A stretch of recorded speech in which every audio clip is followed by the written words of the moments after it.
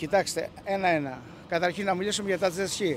Οι άνθρωποι που εκμισθώνουν jet ski ακολουθούν τον νόμο και έχουν ε, προβλέψει την νομοθεσία έτσι ώστε να εξέρχονται και να εισέρχονται με ασφάλεια τα jet ski.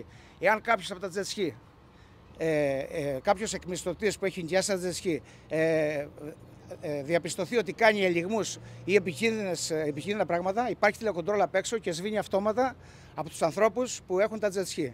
Οπότε εκεί έχουν ασφάλεια. Οπότε δεν ξέρουμε σε, σε αυτή την περίπτωση τελικά τι έχει γίνει. Αν... Σε, αυτό, σε αυτή την περίπτωση ακριβώς δεν γνωρίζομαι. Ε, το πιο πιθανό είναι ότι δεν το έχει νοικιάσει το jet ski ή είναι δικό του και έδρασε από μόνος του αυτοβούλος. Δεν μπορούμε να βγάλουμε συμπεράσματα.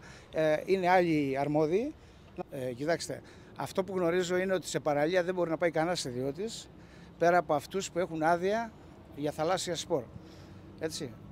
Γνωρίζω επίσης, γνωρίζω επίσης ότι απαγορεύεται η εισαγωγή του τζετσκι και να κάνει τζετσκι ε, πλησίων ε, είναι πάνω από 300 μέτρα. Δεν μπορεί να μπει πιο μέσα. Απαγορεύεται.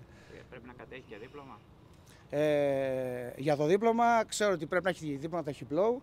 Τώρα ε, δεν θα μπούμε σε αυτές τις λεπτομέρειες. Δεν νομίζω ότι είχε η αρμοδιότητα μου να απαντήσω σε αυτό. Αρμόδια είναι η ελληνική αρχή που μπορείτε να ρωτήσετε να σας πει τα προβλεπόμενα. Ωραία.